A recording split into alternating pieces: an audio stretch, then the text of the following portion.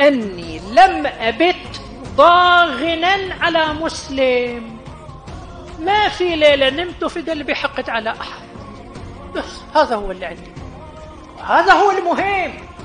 واحد ضرب ركعة ويبغض هذا ويكره هذا ويحقد على هذا ويعادي هذا. شنو فائدة ركعاته؟ شنو فائدة صيامه؟ واقعا الإنسان يشفق على بعض المتدينين اللي يشوف نفسه متدين ويبالغ في الشعائر ويبالغ في العبادات. لكن تعال شوف كيف بقع السواد كبيرة في قلبه على عباد الله. يكره هذا أي دين هذا؟ أي عقيدة هذا؟ ويتصور نفسه من أهل العقيدة الصحيحة وأنه موالي عدل لأهل البيت متمسك عدل بأهله. وين يا ولاية أهل البيت؟ هذا أهل البيت لا يريدون قلوبا سوداء. أهل البيت يريدون قلوبا بيضاء طاهرة من الأحقاد والأغلال. الذين يكرهون الناس يبغضون الناس على أقل اختلاف.